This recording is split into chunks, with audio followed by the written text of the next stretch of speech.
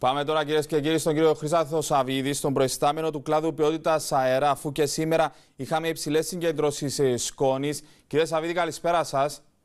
Καλησπέρα και σε εσάς. Υψηλές συγκεντρώσει σκόνης που σας ανάγκασαν να βγάλετε και σχετική ανακοίνωση σήμερα, κύριε Σαββίδη.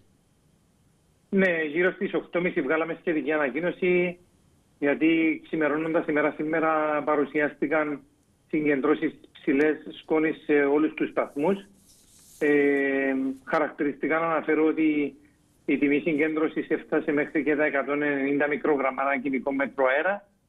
Παρ' όλα αυτά, μετά τις γύρω στις 2 το μεσημέρι, θα μπορούσα να πω, το φαινόμενο είναι σε ύφεση από τις 2 το μεσημέρι μέχρι και τώρα.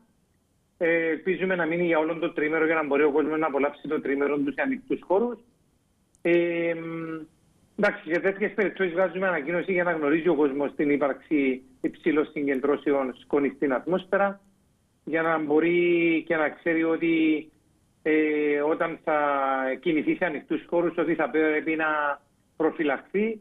Η σύσταση δική μας είναι, αν δεν είναι αναγκαίο να βγει σε ανοιχτούς χώρους, να μην το κάνει, και αν είναι αναγκαίο να βγει να κυκλοφορεί τουλάχιστον με μία μάσκα έτσι ώστε να προστατευτεί από τι υψηλές συγκεντρώσει σκόνη. Πάντως, κύριε Σαββίδη, το τελευταίο διάστημα βλέπουμε όλο και πιο συχνά τέτοια σκόνη στην ατμόσφαιρα και διαρκεί κάθε φορά και περισσότερες ημέρες.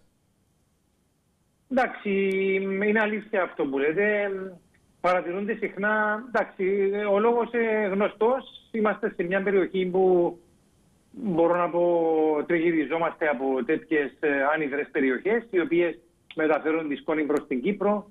Είναι η Συρία, η Μέση Ανατολή και η Αφρική, η Βόρειος Αφρική, η έρημο της Σαχάρας. Τέτοια φαινόμενα στη γειτονιά μας είναι αρκετά συχνά. Γι' αυτό και εντάξει, προχωρούμε σε έκδοση ανακοίνωσης να γνωρίζει ο κόσμος την ύπαρξη αυτού του φαινομένου. Μάλιστα. Κύριε Σαββίδη, ευχαριστώ πάρα πολύ. Να είστε καλά. Καλό σας βράδυ. Εγώ ευχαριστώ. Καλή συνέχεια. Καλό βράδυ.